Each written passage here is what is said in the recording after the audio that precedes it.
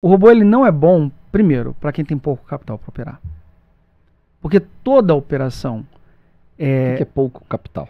Pouco capital é você operar no limite da margem, deck. Por exemplo, imagina que você vai operar uma operação, por exemplo, um robô que faz day trade. Aí você pega, poxa, um mini contrato de, de índice, por exemplo, né? Cara, um mini contrato de índice, se o índice variar mil pontos, a gente está falando de uma oscilação de 200 reais para cada um mini contrato. Tem gente que tem 150 reais na conta e coloca para operar um mini contrato. Então esse cara, assim, ele tem pouco capital. Ele não deveria operar com robô. Essa é a realidade. Ele não deveria operar com robô. Então, por mais que você recomende, por exemplo, um determinado capital mínimo para a pessoa operar, você fala assim, cara, você deveria operar com dois mil reais por mini contrato, por exemplo, de índice, né? Aí o cara, ele sabe que se ele tiver 200 reais na corretora, ele vai ligar o robô. E aí ele faz o quê? É uma mentalidade. Quando que o robô é bom, quando que o robô não é bom. O robô não é bom quando você tem pouco capital. E tem gente que liga o robô quando você tem pouco capital, no intuito de fazer um tudo ou nada. Ou eu pego esses 150 reais e dobro, ou eu pego esses 150 reais e perco. E aí o robô, a, a operação automatizada, vira uma coisa que, quando a gente conversa. vou falar uma coisa que acho até engraçada.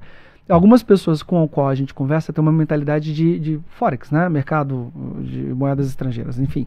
E o pessoal é acostumado a operar com Forex com baixo capital. Então o cara uhum. coloca pouca coisa lá e eventualmente quando o capital, né, ele quebra, perde tudo, ele fala assim: "Eu quebrei a banca".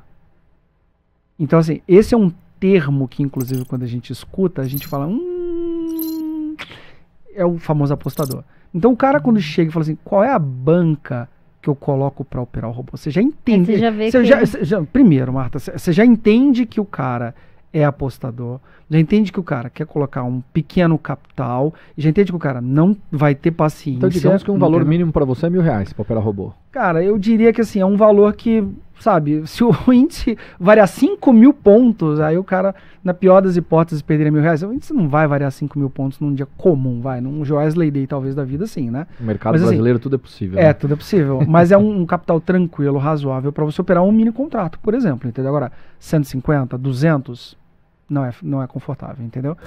E aí, você curtiu o nosso Gamecast, principalmente esse corte? Então aproveita, segue nosso canal, ative o sininho, deixe seu like, faz tudo que você puder e vem com a gente.